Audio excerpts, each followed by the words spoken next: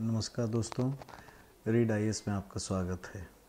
संस्थान पर व्याख्यान के इस तीसरी कड़ी में हम लोग आज चर्चा करेंगे एनएचआरसी पर, यानी नेशनल ह्यूमन राइट्स कमीशन पर, राष्ट्रीय मानवाधिकार आयोग पर। सबसे पहले हम लोग इसके स्ट्रक्चर और फ़ंक्शंस पर बातचीत करेंगे। इस संस्था के गठन की प्रक्रिया जो है उन्नीस सौ तिरानवे में प्रारंभ हुई। 27 सितंबर उन्नीस सौ तिरानवे को सबसे पहले अध्यादेश जारी करके आप जानते हैं कि अध्यादेश भारत के राष्ट्रपति अनुच्छेद एक सौ तेईस के तहत जारी कर सकते हैं। और इस अध्यादेश के माध्यम से इसका गठन सबसे पहले हुआ। उसके बाद 18 दिसंबर उन्नीस सौ तिरानवे को एक मानवाधिकार का विधेयक पारित हुआ। 8 जनवरी उन्नीस सौ चौरानवे को उसे राष्ट्रपति का हस्ताक्षर करके उसे प्रारंभ किया गया। तो इस तरीके से हमारे पास एक संस्था है जिसका नाम है NHRC यह संस्था एक स्टैचूटरी बॉडी है। यह एक संविधिक संस्था है। अर्थात कानून से बना है। इसकी चर्चा संविधान में नहीं है। यह कार्यकारी संस्था नहीं है। प्रारंभिक परीक्षा में आए तो आप टिक करें। यह एक संविधिक संस्था स्टैचूटरी बॉडी है। इसकी, इसका जो गठन है, उसमें कौन कौन कैसे होता है, इसको जानने से पहले हम लोग देखेंगे इसके कितने मेंबर होते हैं। इसके एक अध्यक्ष होते हैं और आठ सदस्य इसमें होते हैं। जो नेशनल ह्यूमन राइट्स कमीशन के अध्यक्ष होते हैं, वे ex chief justice of India होते हैं। कोई भी हो सकते हैं। और आठ सदस्यों में से चार सदस्य हम लोग पदेन सदस्य लेते हैं, अर्थात पदेन सदस्य का तात्पर्य होता है कि वो कोई और काम कर रहे होंगे और एडिशनल चार्ज उनको दिया गया होगा। यानी उस, उनके लिए कोई एलिजिबिलिटी या नियुक्ति की हम कोई बात नहीं करते। हैं तो ऐसे चार होते हैं, जैसे SC commission ST commission women commission और नेशनल कमीशन फॉर माइनॉरिटी अर्थात अनुसूचित जाति आयोग के अध्यक्ष को एक पदेन सदस्यता दी गई है। अनुसूचित जनजाति आयोग के अध्यक्ष को भी पदेन सदस्यता दी गई है। और महिला आयोग, जो राष्ट्रीय महिला आयोग है, उसकी जो अध्यक्ष हैं, वो भी पदेन सदस्य हैं। और जो अल्पसंख्यक आयोग है, उसके भी अध्यक्ष यहाँ पदेन सदस्य होते हैं। इस तरह से चार सदस्य बिना किसी तरीके से हम लोग पदेन सदस्यता के आधार पर ले लेते हैं। इसमें दो न्यायिक अधिकारी हमने रखा है। इसमें दो न्यायविद होते हैं, अर्थात न्यायाधीश होते हैं, और उनमें से एक कोई सर्वोच्च न्यायालय का न्यायाधीश हो या रह चुका हो, और एक दूसरा व्यक्ति जो किसी भी उच्च न्यायालय का मुख्य न्यायाधीश हो या रह चुका हो। इस तरह से दो न्यायाधीश हो गए, अर्थात छः सदस्य हो गए। अब बचे दो इन दो सदस्यों में हम लोग ऐसे सदस्यों को लेते हैं जो जिसे मानवाधिकार के विषय का अनुभव हो हाँ तो इसमें ज़्यादातर हम लोग आईपीएस अधिकारियों को हम लोग लेते हैं जो पुलिसिंग के दौर में मानवाधिकार के विषयों से रूबरू होते हैं। ज़्यादातर ऐसा देखा गया, बहुत सारे सीबीआई डायरेक्टर यहाँ पे इस कैटेगरी में मेंबर्स के रूप में लिए गए हैं तो इस तरह से इनके आठ सदस्य होते हैं। इनके जो नियुक्ति होती है, वह राष्ट्रपति के द्वारा under his hand and seal अर्थात उनके खुद के हस्ताक्षर और मुहर लगा करके होती है। जब भी राष्ट्रपति ये इस तरह से जहाँ पे लिखा जाता है कि उनके खुद के हस्ताक्षर और मुहर, ये गरिमा को दिखाता है कि एक महत्वपूर्ण पद है, इसके सदस्यों को राष्ट्रपति जी भी तवज्जो देते हैं। और वो उनको चुनेंगे, जो प्रधानमंत्री जी के नेतृत्व में एक समिति होगी, जो नाम रिकमेंड करेगी, उनको वो चुनेंगे। तो प्रधानमंत्री के नेतृत्व में जो समिति होती है, उसमें गृह मंत्री लोकसभा और राज्यसभा के विपक्ष के नेता भी उसमें होते हैं और लोकसभा के अध्यक्ष और राज्यसभा के उपसभापति उसमें सदस्य के रूप में होते हैं। यह ध्यान रहे कि राज्यसभा के सभापति नहीं होते क्योंकि वो उपराष्ट्रपति हो जाएँगे और वो ऑर्डर ऑफ़ प्रेसिडेंट्स में प्रधानमंत्री से ऊपर दर्जे के आते हैं। तो ऐसा कैसे संभव है कि किसी आयोग में अध्यक्ष निचले स्तर का हो और उच्च स्तर का व्यक्ति सदस्य हो? इसीलिए याद रखने में इस विषय को हमेशा ध्यान में रखा जाना चाहिए। तो ऐसी एक समिति इसका रिकमेंड करती है जिन लोगों के लिए उनका चयन नेशनल ह्यूमन राइट्स कमीशन के मेम्बरान के रूप में होता है। अभी हम लोग जानेंगे नेशनल ह्यूमन राइट्स कमीशन की भूमिका क्या है। तो कुछ भूमिका बिल्कुल पॉइंटेड फॉर्म में ध्यान रखें। पॉइंट नंबर वन जो भी स्वतः संज्ञान से या जो भी आरोप लगाए जाते हैं या कोई आवेदन करता है जाँच के लिए कि अमुक जगह पर या अमुक जाति धर्म समुदाय में कहीं पर मानवाधिकार का उल्लंघन हुआ है तो एन एच आर सी उसका जाँच करता है। दूसरा राज्यों के दौरे करके जेलों में आ, कहीं मानवाधिकार का उल्लंघन हो रहा है या नहीं इसकी जाँच एन के द्वारा की जाती है। यह ध्यान रहे कि जेल जो है, वह राज्य सूची का विषय है और इसीलिए इसकी पूर्व सूचना एन एच की तरफ़ से राज्य सरकारों को दी जाती है। तीसरा, यदि कोई आपराधिक संगठन या अलगाववादी या नक्सलवादी संगठनों से अगर कोई चुनौती है तो उसकी भी जाँच एनएचआरसी के द्वारा की जाती है। कोई अंतर्राष्ट्रीय संबंधों में अगर हमने कोई ऐसा टाई अप किया है, जिसके इम्प्लीकेशंस ऐसे हैं जो एनएचआरसी को जाँच करने की आवश्यकता हो, अर्थात कहीं उससे, उस अंतर्राष्ट्रीय संबंध के उस जो गठजोड़ के लिए हमने कोई टाई अप किया है या कोई प्रोटोकॉल हमने साइन किया है, उसके क्रियान्वयन की वजह से एनएचआरसी सॉरी मानवाधिकार के उल्लंघन की समस्या उत्पन्न हो रही है तो उसकी जाँच भी एनएचआरसी करता है। इसके अलावा एनएचआरसी की जो महत्वपूर्ण भूमिका है और वो ये कि भारत में मानवाधिकार का समझ बढ़े, इसका प्रचार प्रसार करना। एकेडमिक्स में लोग चुने, इसके लिए भी वो काम करती है। तो जैसे यूजीसी को फंड करती है, जो लोग भी जेआरएफ करेंगे, जो ह्यूमन राइट्स के सब्जेक्ट को, जो मास्टर डिग्री होंगे, अगर नेट को जे आर क्वालिफाई करते हैं तो उनको कुछ वजीफ़े स्कॉलरशिप दिया जाएगा, जो एन की तरफ़ से होता है। इनकी ये भी भूमिका है कि लोग अधिक से अधिक इस व्यवसाय में आएँ। यानी एनएचआरसी ये भी ध्यान देती है कि मानवाधिकार के विषय पर कोई संगठन काम कर रहा हो, उस व्यवसाय को भी लोग चुने। यानी मानवाधिकार का समझ बढ़े, इसके लिए वो भी वो काम करती है। एनजीओ, सिविल समाज और प्रेशर ग्रुप, उनकी भूमिका को बढ़ाने के लिए भी एनएचआरसी कार्य करता है।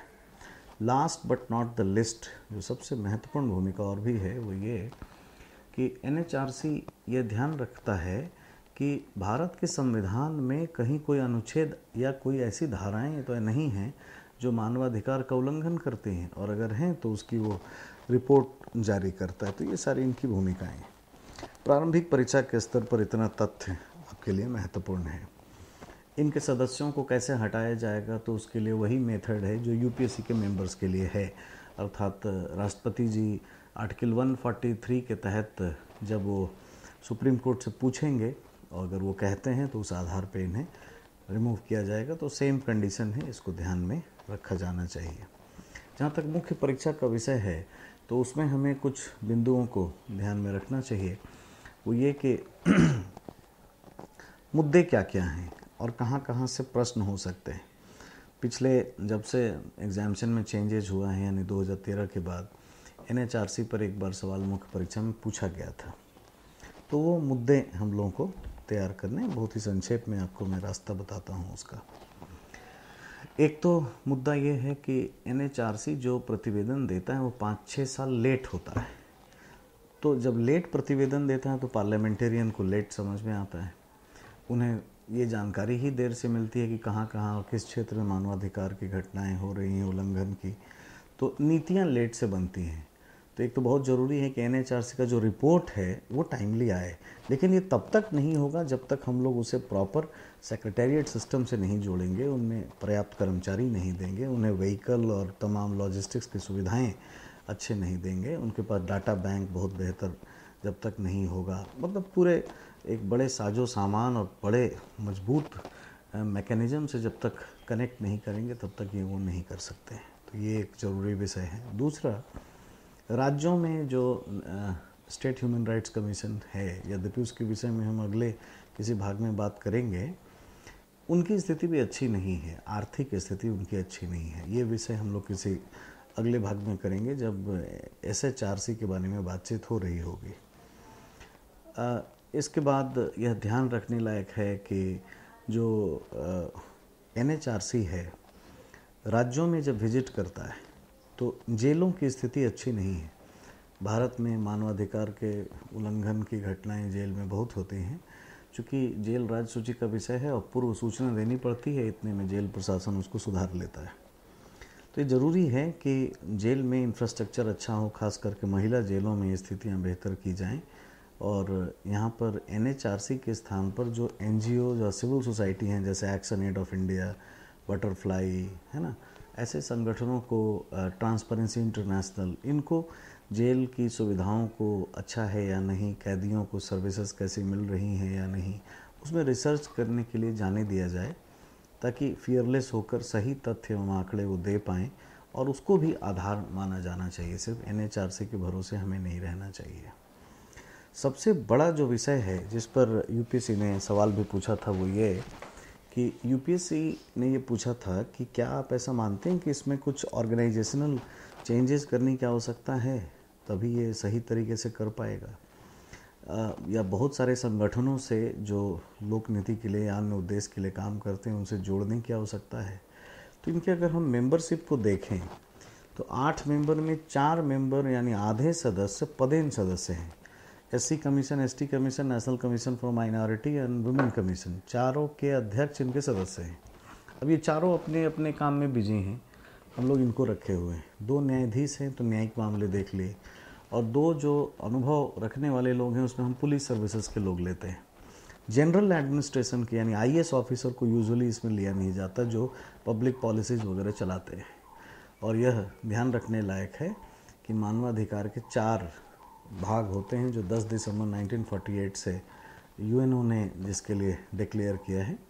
सामाजिक, आर्थिक मानवाधिकार, जिसकी स्थिति भारत में अच्छी नहीं है, नागरिक मानवाधिकार, राजनैतिक मानवाधिकार और सामाजिक, सांस्कृतिक मानवाधिकार। तो सामाजिक, आर्थिक मानवाधिकार के संदर्भ में अगर बात करें तो उसके लिए हम लोग ये कहते हैं कि कल्याण की नीतियाँ इस प्रकार से चलाई जानी चाहिए जो हर अगली पीढ़ी को उनके जीवन स्तर को बेहतर बनाए। तो ये कब होगा? एनएचआरसी कब इसको देख पाएगी? जब सिविल एडमिनिस्ट्रेटर इसमें होगा, यानी कोई सामान्य सामान्य आई ऑफिसर इसमें होगा। एक तो या तो ये करें मेंबरशिप में, या अगर हम ये नहीं करते हैं तो जो संस्थाएँ, जैसे central social welfare board NITI Aayog, ऐसे संस्थाएँ जो लोक नीतियों को चला रहे हैं, उनसे इनको कनेक्ट किया जाए। ताकि हमारी जो नीतियाँ, नीतिगत जो चुनौतियाँ हैं, उसमें भी सुधार किया जा सके और उसके तहत जो समाज का सबसे गरीब वर्ग है, वहाँ तक कल्याण के कार्यक्रम पहुँच पाएँ। ये नहीं होगा तो तो हमें कुछ ना कुछ हमेशा चुनौतियों का सामना करना पड़ेगा। जैसा कि हम लोग देख सकते हैं, बारहवीं योजना में इंक्लूसिव ग्रोथ को अपना टारगेट बनाया गया था। हम 1950 से ही अपना रिपब्लिक चला रहे हैं। और बारहवीं योजना में, यानी 12 से 17 में अगर हमें इंक्लूसिव ग्रोथ के लिए लक्ष्य बनाना पड़ रहा है तो हमारे लिए बहुत ही चिंता का विषय है। और ये इसीलिए है क्योंकि जो एजेंसी है जो इन चीज़ों को देख पाएगी या आलोचना करेगी, जो कि आलोचनात्मक चिंतन लोकतंत्र के लिए ज़रूरी है, उसमें हमने कोई सिविल एडमिनिस्ट्रेटर नहीं रखा या ऐसे संगठनों को नहीं रखा जो पब्लिक पॉलिसी चलाते हैं। तो इनसे उनको कनेक्ट किया जाना चाहिए। इसी विषय पर यूपीएससी ने पूछा था और आपके विचार जानने का प्रयास किया था तो आपको इसके पक्ष में तर्क देना चाहिए, ये बहुत ज़रूरी है। चौथा, अगला जो विषय है, जिस पर प्रश्न भविष्य में हो सकते हैं, वो पुलिसिंग को लेकर के पुलिस प्रशासन की स्थिति अच्छी नहीं है। कभी हम लोग किसी दूसरे वीडियो में बहुत डिटेल से बात करेंगे। ये तो संगठन का अपना सीरीज़ है। तो पुलिसिंग अच्छी नहीं है। आप संक्षेप में ये जाने। बहुत पुराने हथियार यूज़ करते हैं, हेल्थ अच्छा नहीं है, जाँच के लैब अच्छे नहीं हैं और पुलिस जो है वो ह्यूमन राइट्स की अच्छी खासी वायलेशन करती है। अगर एनएचआरसी का रिपोर्ट देखें तो Uttar Pradesh police number one है जो मानवाधिकार का उल्लंघन कर रही है। अब ऐसी परिस्थिति में अगर हमें पुलिसिंग में सुधार करना है तो पुलिस सुधार के लिए प्रयास करने होंगे। एनएचआरसी पुलिस सुधार पर कुछ बातें कहता रहता है और पुलिस सुधार पर हमने आयोग पर आयोग बनाया है। 1978 से लेकर उन्नीस तक सबसे पहले धर्मवीरा आयोग बनाया था जो फ़र्स्ट नेशनल पुलिस कमीशन था। उसके बाद उन्नीस सौ अठानवे में पद्मना भैया कमेटी उन्नीस सौ अठानवे में जूलियो रिबेरो कमेटी 2000 में पद्मना भैया कमेटी 2003 में वी एस मालीमत कमेटी 2005 में सोली सोराब जी कमेटी हमने बनाई। सुप्रीम कोर्ट ने अपने सुधार के लिए कुछ कहा। कई सारे विषय हुए लेकिन अब तक नहीं हो पा रहा है।